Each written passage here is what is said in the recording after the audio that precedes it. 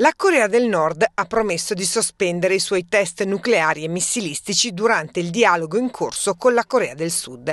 L'annuncio ufficiale arriva da Chung Wei-yong, il capo della delegazione sudcoreana, che ha incontrato a Pyongyang il leader nordcoreano Kim Jong-un. In quella sede si è concordato anche un summit tra il presidente sudcoreano Moon Jae-in e Kim. Le due Coree hanno anche concordato di aprire una linea diretta di comunicazione tra Moon e Kim per alleggerire la tensione militare e avere un coordinamento più diretto tra i due paesi.